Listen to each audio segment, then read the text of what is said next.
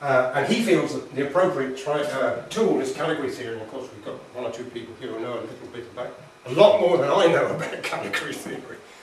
So I'm sort of coming in of this as, as my, my main contribution, my main thinking, contribution, is dealing with algebras.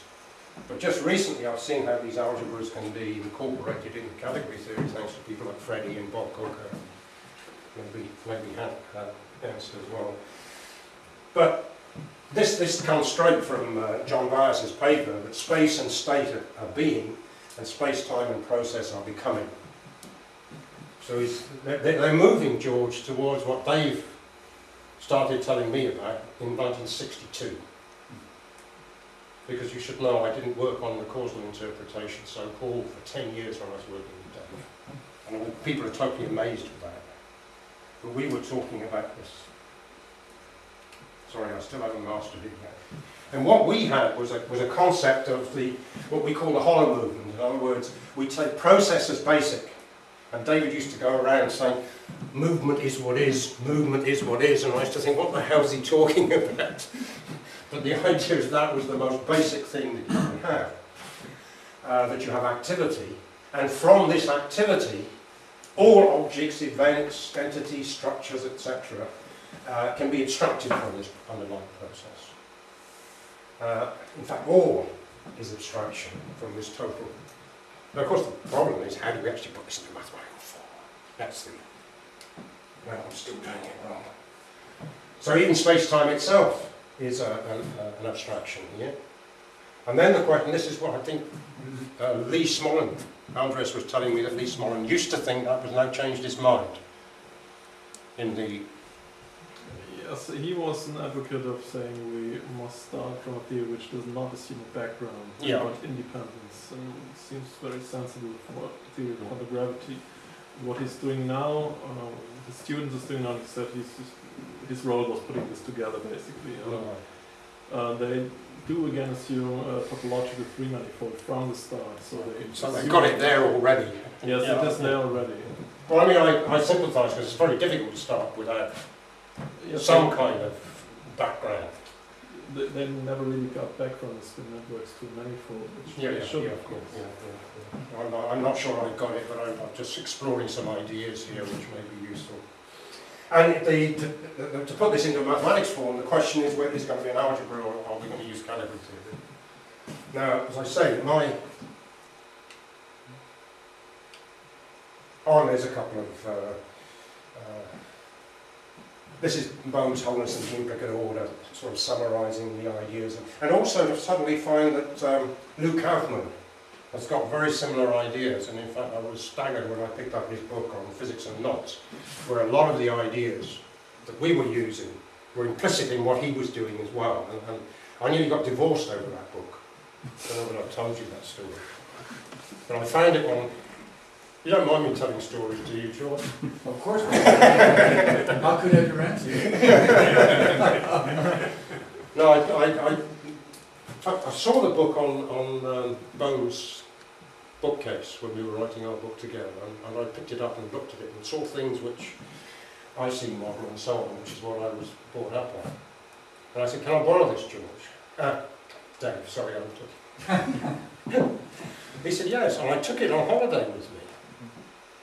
And it was a miserable holiday in the sense that the weather was typically English, misty, southern weather.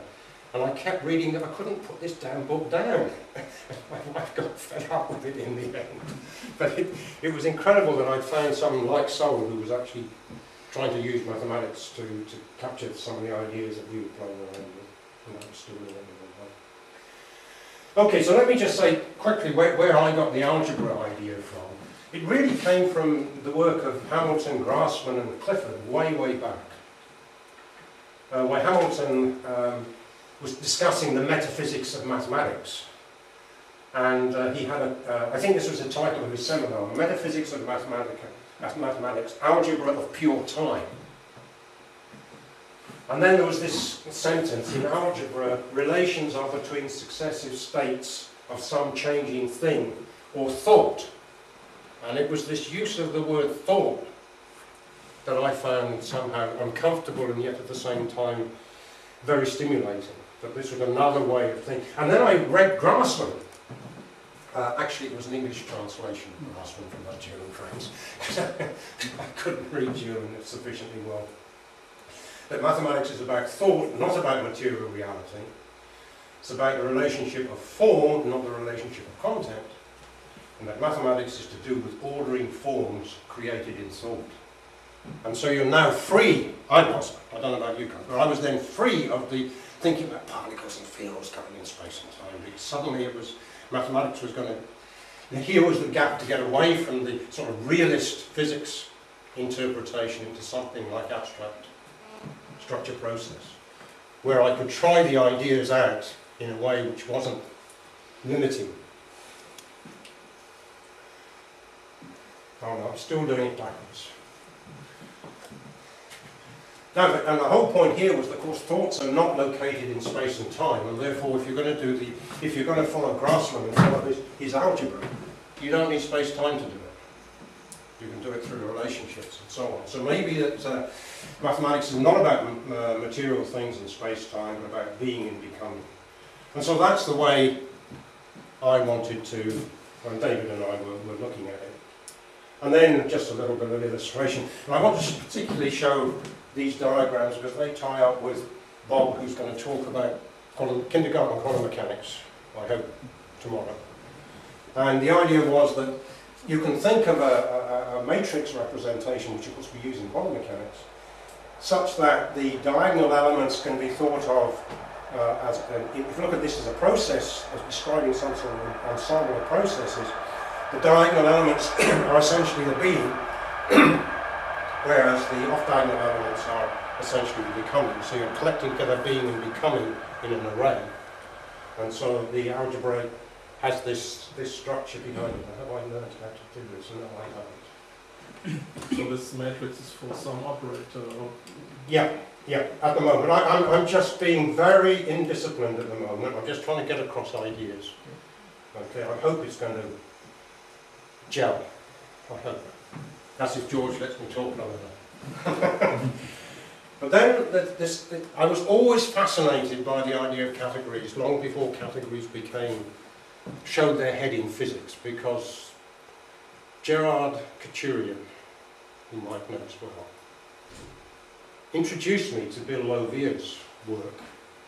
He came to me one day and he said, look, I've got some money, I want to do a PhD. I said, okay. Always a good sign, wasn't it, Malcolm, when someone had some money and wanted to do a PhD. And, oh, Morris, you're just in time. Yes, from Brazil to see Brazil. Oh, okay, from Brazil to see Brazil. Are you guys Charlene? Hi, Charlene. Hi. Uh, We're having a talk. Yeah, we'll, we'll, we'll see you later. Thank you later. Yeah, yeah, sure.